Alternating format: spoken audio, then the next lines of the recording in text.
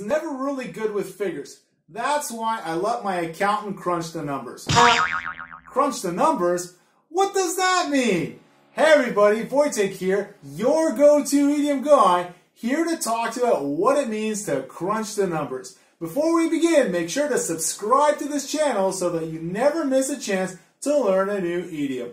According to the American Heritage Dictionary of Idioms, to crunch the numbers is a slang term derived from electronics and computer science from the latter half of the 1900s.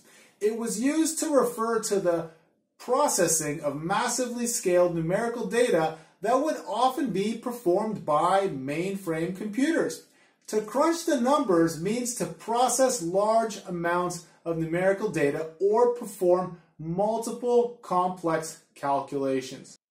Nowadays, this expression doesn't just have to apply to computers performing massive calculations. It can also be used when referring to humans doing complicated mathematics. It basically means to do the math. So you could say, I'll crunch the numbers and give you an estimate of the job by next week.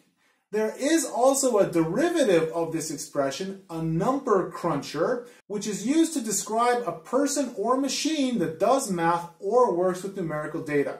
So you could say things like, my brother's a number cruncher. He works in the financial department of some big company. In summary, to crunch the numbers means to do the math. Have you got a similar expression in your language? If so, we'd love to hear about it in the comment section below. That's all for today. I hope this was helpful to you.